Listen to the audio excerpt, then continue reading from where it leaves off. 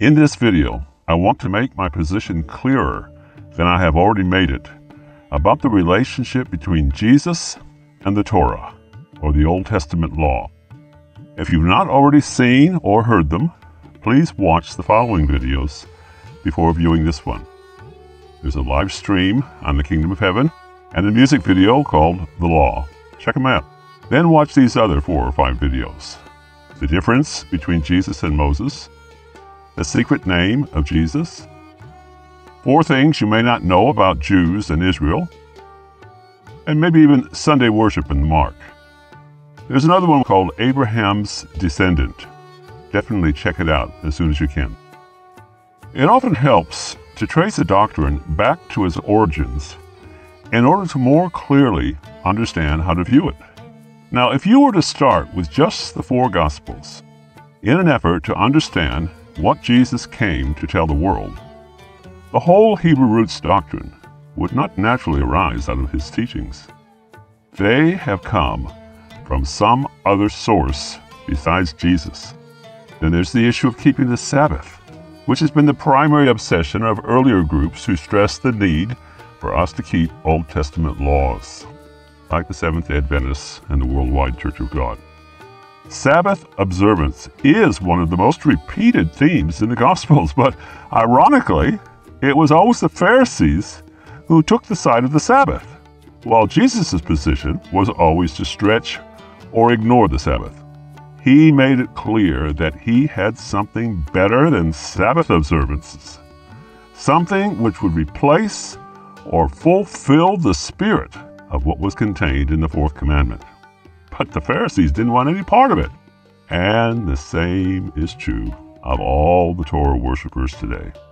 Just remember that Sabbath arguments do not naturally arise from trying to obey Jesus. And that is the case with so much of the entire movement away from Jesus and back to the Old Testament. Virtually every Hebrew roots person who has ever written to me claiming we're on the same wavelength quotes the exact same passage from the Sermon on the Mount. Nothing more. They quote Matthew 5, verses 17 to 19. I did not come to destroy the law, but to fulfill it. Everything that they stand for starts and ends there. It's like the secret passage in the board game Clue. You know how you instantly move from one extreme opposite side of the board to the other? From the study to the kitchen? Now, if you accept their interpretation for Matthew 5:17, you'll never see Jesus again. You will head down a rabbit hole to the Old Testament law and never return. They don't give two cents for anything else that Jesus taught. Their interpretation of that one passage in isolation says that Jesus was little more than a prophet trying to get the Jews to follow the law in some way that they had not already done. Well, that is what prophets tended to do in the Old Testament. The children of Israel would go chasing after other gods, getting away from all the various teachings of their religion, building groves and idols to other gods, and then along would come a prophet telling them to repent, destroy their idols, and dust off the old laws and start practicing them as a nation once again. But of course, that's not what happened when Jesus traveled around the country. The Pharisees themselves were extremely zealous about the law. There might have been tiny discrepancies about issues such as whether or not the law taught about a resurrection after death, but we read nothing about them desecrating the temple, worshiping Roman gods, or sinking into debauchery around the time of Jesus. Jesus did not come to get them back to the law because they already had it. And they had it in a big way. It's as simple as that. It's only because the church is full of people who have never read the life and teachings of Jesus that such a freaky teaching ever took off to begin with. Obviously, something is wrong with the Hebrew roots understanding of Matthew 5 17 to 19 for them to have reached the conclusion that all we need to do is to go back to the Torah and start practicing it more religiously. Let's look more closely at the passage, especially in the light of what Jesus actually taught elsewhere. There are three verses, and here's the first one. Think not that I am come to destroy the law or the prophets. I am not come to destroy, but to fulfill. All the emphasis is put on Jesus not destroying the law, as though it means that he was there to promote the law and get people to turn back to it. But the key word here is not destroy, the key word is fulfill. He came to fulfill the law. If, for example, you make a promise in writing, it's a good idea for the person to whom you've made that promise to keep the written promise as evidence, just in case you go back on your word. But when you have fulfilled the promise, what happens to the promise itself? Doesn't really matter, does it? It's been fulfilled. When you finish the job by the date that you had promised to finish it, what further use is the promise? When you pay the amount that you had promised to pay, what does the other party do with the promise? When you get married to the person you had promised to marry, how much meaning does the engagement have anymore? What happens to the promise after it has been fulfilled? Your purpose was not to oppose the promise, your purpose was to fulfill it. It's just that the end result is much the same as it would have been if somebody had come to destroy it. There is no further use for it, except maybe as a historical record. It's not rocket science, folks. You see how simple it is? Jesus is talking about fulfilling a promise. And a promise is what the first three quarters of the Bible is all about. It's called the Old Promise, or the Old Testament. So Jesus is saying that fulfilling a promise is not destruction in the sense of one being good and the other evil. He did not come to fight the Torah, but the end result of him having fulfilled the Torah is that all anyone needs to do now is just to rejoice at this fulfillment of the promise and leave the promise itself to be what it is an historic relic. You see that? Jesus and Paul both tried to get people to see that his message to the world should never have been a threat to the religious leaders of his day. He actually had the spirit of the law from start to finish. But they clung to the written letter of the law, the little details, and reacted to Jesus in fear. And they did it for their own selfish reasons. Now, what about the next verse, verse 18? The plot does thicken a bit here. Listen. I say to you, till heaven and earth pass, not one jot or one tittle shall pass from the law till it all has been fulfilled. Now, this paints quite a different picture, doesn't it? But only if you assume that Jesus only partially fulfilled the old promise. That would create a huge problem because what we read here is that there cannot be partial fulfillment. You cannot set aside some of the Torah unless you're prepared to set aside all of it. Either it has been fulfilled in every jot and tittle, or it must be taught and practiced in every jot and tittle. You see that? Not one jot, not one tittle of the old promise will be done away with until and unless it has all been fulfilled. This is so simple. Yet I keep feeling like I need to say it again because it just doesn't sink in. We only have two choices. Jesus is an all or nothing, take it or leave it package.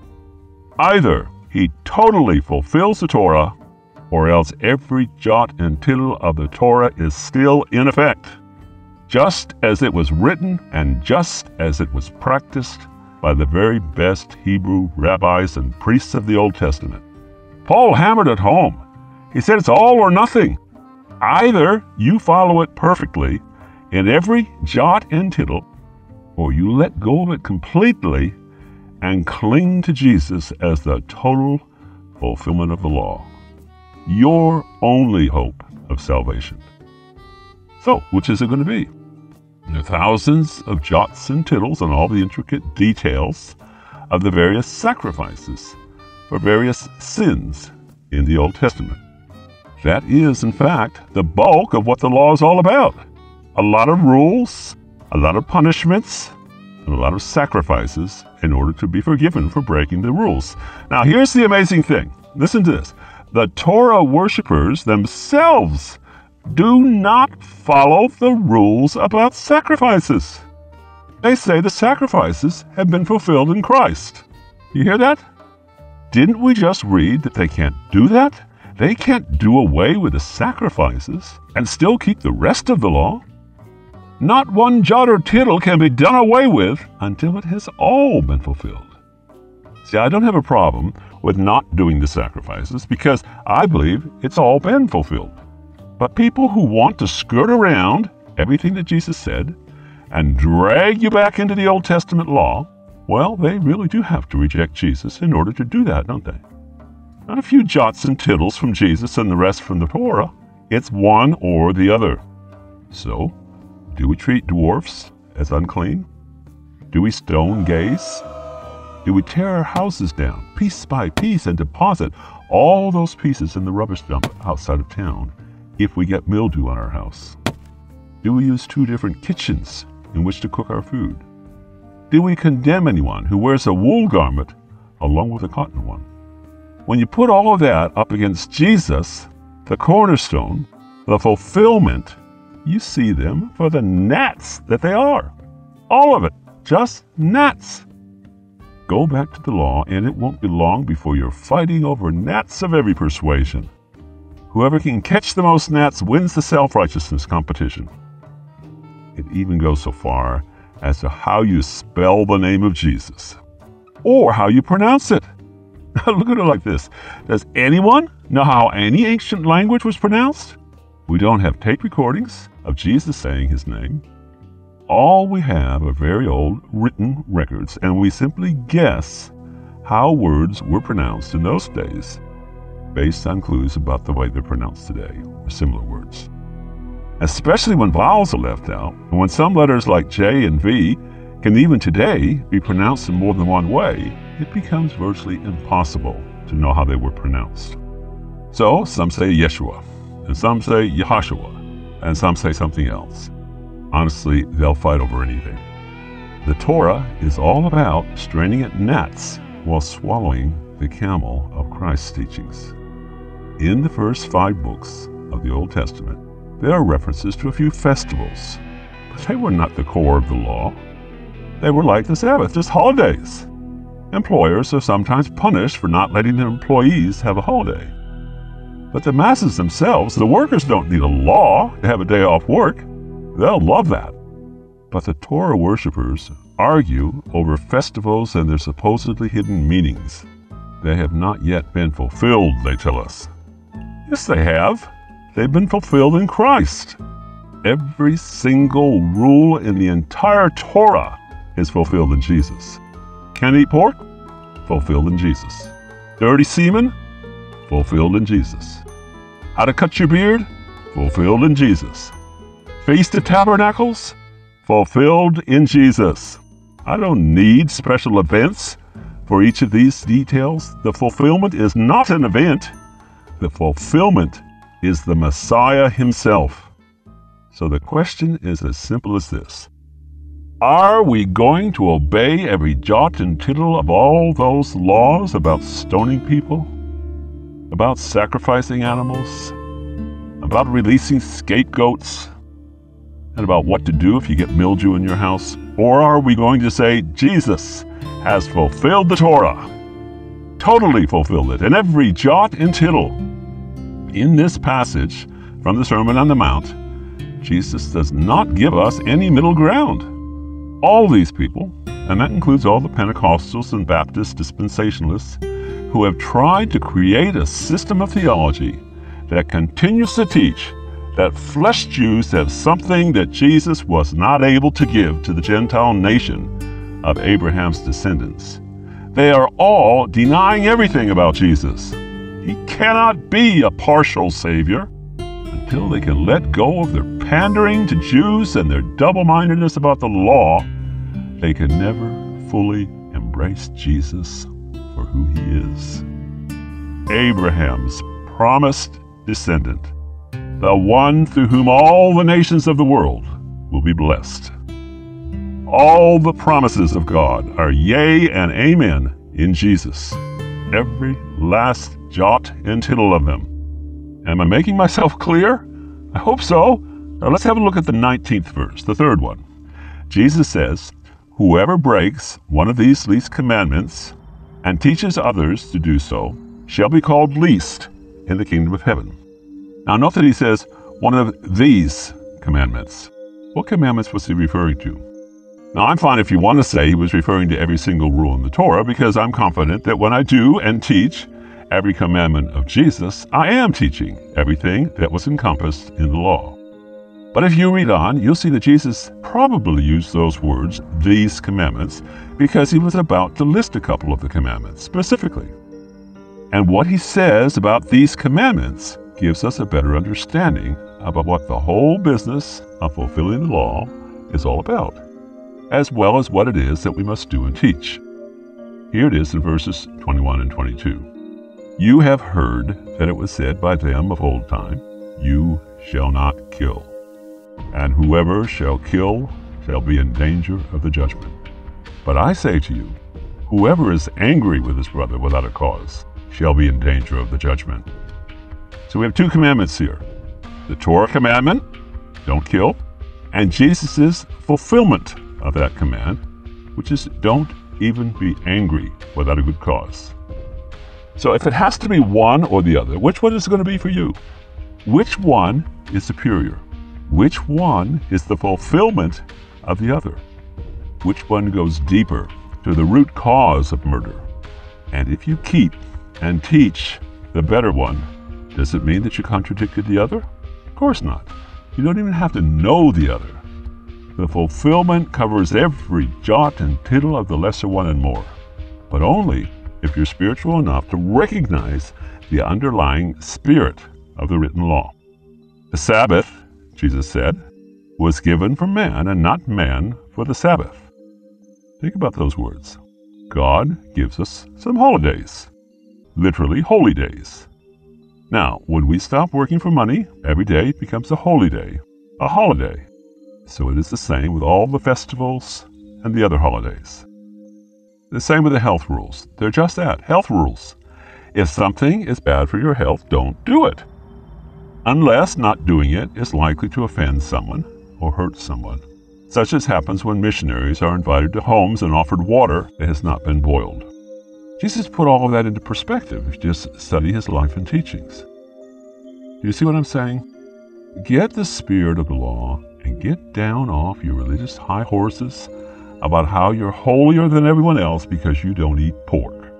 My goodness, we learned about how to eliminate trichinosis from pork ages ago, but still people get all self righteous about not eating it. What do you think would happen if we taught every jot and tittle of what Jesus taught and never even gave a thought to the Torah. Would we be considered least in the kingdom of heaven because we've only taught what Jesus taught? Because we've ignored what the Torah teaches? Now remember, it has to be all or nothing with the Torah. You can't say, well, Jesus overlooked a few jots and tittles, so we need to teach what Jesus taught plus the jots and tittles that he missed. No, you have to totally teach one or the other.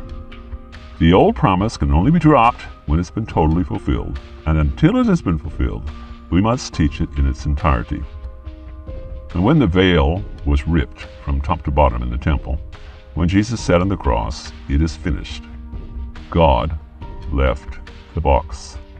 This is the box in which the Torah was kept. This was the box where they believed that God lived. God left it, never to return the old promise had been fulfilled. In toto. Completely. If something is unhealthy and it's not going to offend anyone, don't eat it. But don't do it because you think you're more righteous than other people. Do it because you want to live longer. Just simple common sense. As Paul taught, we've been set free from the law, so let's not go back to following it. The introduction to John's Gospel says that the law came through Moses but grace and truth came through Jesus Christ. So, which is it going to be for you? The law or grace and truth? You only get one or the other. Choose this day whom you're going to serve.